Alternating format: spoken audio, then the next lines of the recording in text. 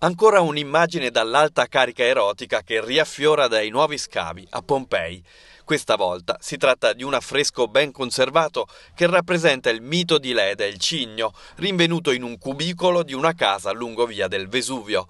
Siamo nello scavo della Reggio Quinto, la porzione mai indagata della città vesuviana, e al centro di un vasto intervento di ricerca che continua a regalare sorprese ormai ininterrotte da cinque mesi.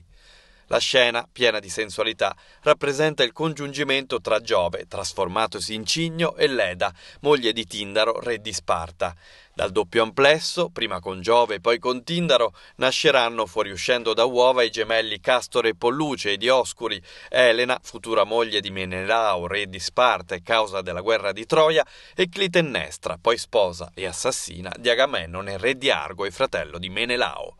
A Pompei l'episodio di Giove e Leda gode di una certa popolarità, poiché attestato in varie domus con diverse iconografie.